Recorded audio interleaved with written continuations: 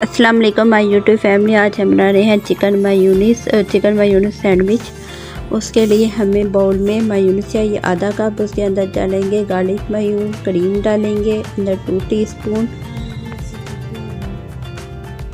अंदर mustard paste शामिल करेंगे half teaspoon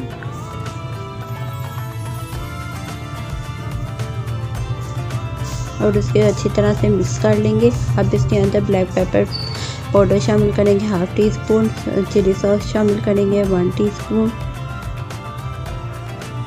chicken powder शामिल करेंगे हाफ़ टी स्पून अब इसके अंदर चिकन उबली हुई शामिल कर देंगे जो मैंने श्रेडेड की थी, वो शामिल कर देंगे उबले हुए अंडे शामिल कर देंगे श्रेड किए हुए.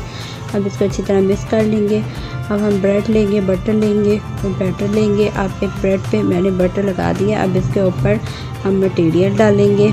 और आप इसके ऊपर ब्रेड का एक स्लाइस रखेंगे, फिर उसके ऊपर मटेरियल डालेंगे। आप चाहे तो आप सिंगल भी कर सकते हैं, मैं डबल मटेरियल बना रही हूँ। मज़ेदार चिकन मायूनी सैंडविच तैयार हैं।